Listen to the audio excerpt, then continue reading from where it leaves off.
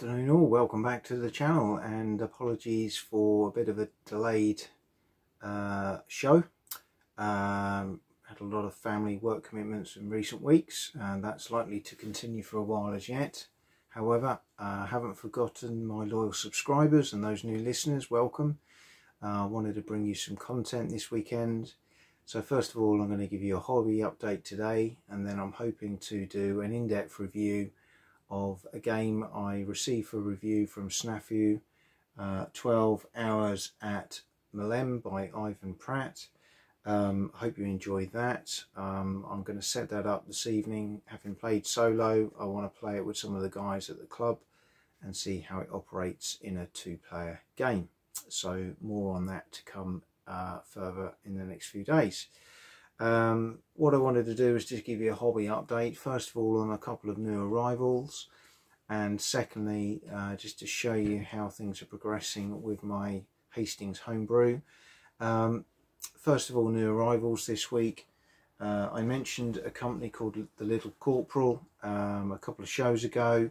I just wanted to show you a publication I received today from them. Um, published by Cérigo Editions in France. This is uh, Frederic Bey, uh, who I believe is also a games writer, and I'm sure I've got some of his games here somewhere. Uh, this is Issos and Gaugamela, uh, Alexander's defeats and dethrones Darius III. Uh, so this is actually a book. Um, interesting subject, as I'm a big Alexander fan and some of the artwork is absolutely gorgeous as you can see in there. Uh, there are also some really nice maps simple maps.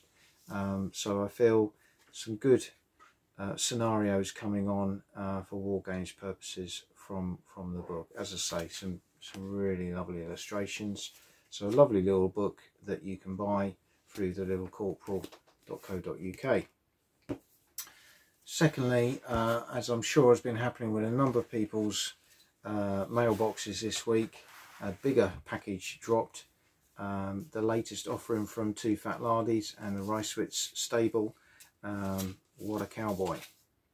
Um, so this is um, a rebrand from a Tanker, uh, the latest incarnation, What a Cowboy. Um, I've got to say the book that John Savage and uh, Richard and the team have put together is absolutely beautiful. Um, some lovely artwork, again, um, really nicely set out. Uh, there, there's a number of reviews already on YouTube talking about the game and, and the book, um, so I'm not going to dwell on that. Um, but if it's westerns is something you're interested in, um, this is certainly well worth investigating. Um, I believe the PDF of this will be available from Monday the 24th. Um, so that is another option for those that don't want the hardback edition. Alongside that, you receive the cards, um, which are the Desperado uh, action cards. Um, I opted not to have the Bonanza tokens, but that's mainly because either I'll use my own or because I like some of the other offerings that uh, Warbases are going to have available from next week so that's a couple of new arrivals. Um, I'm just going to finish off by showing you how the figures are coming along for the Hastings Homebrew.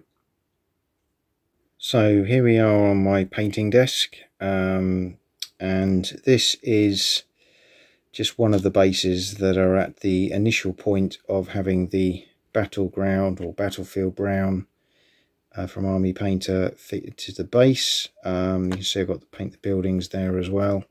But these are some of the bases that are just about completed now. So these are some of the uh, Norman uh, cavalry. Um, so you can see there we've got a mixture of grasses, um, tufts going on there.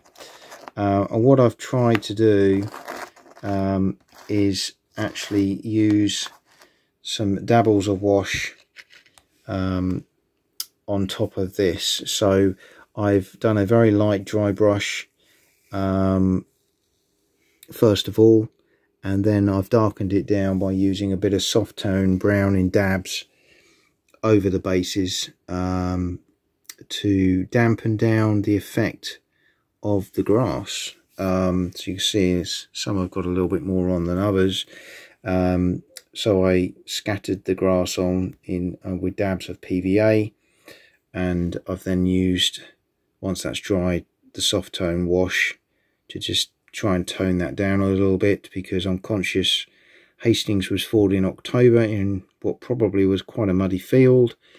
Um, it would have been quite boggy, marshy in areas, with that we do know. Um, and then the tufts just to sort of break that up a, a, little bit more. But quite pleased with the initial batch. Um, these ones you'll see are at the another stage. So these have had the grass and also the wash, but not the tufts. Whereas these ones have already had the tufts treatment. Um, and they're looking pretty good. What I intend to do is paint the edges of the bases and then um, I'm going to break them up into their respective wings with a, a colour identifier on the back of the bases uh, just so it's easy when they're playing on the war games table so they're the ones that I've done so far. Um, there is a lot still to do, but just to give you a bit of an update. And in preparation for What a Cowboy, um, I continue to paint these little chaps. Uh, my 28 mil uh, Black Sheep miniatures, sort of Mexicans and uh, bank robbers. Looking forward to getting these on the table. Quite enjoying painting these, I must admit. Um, in, enjoying doing those. So uh, once I've done those, I'll probably do some uh,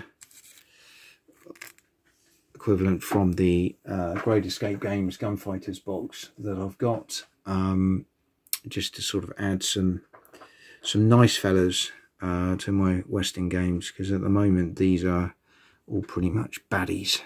Um, but uh, again, I'll continue to paint those. Uh, block colours are virtually all done.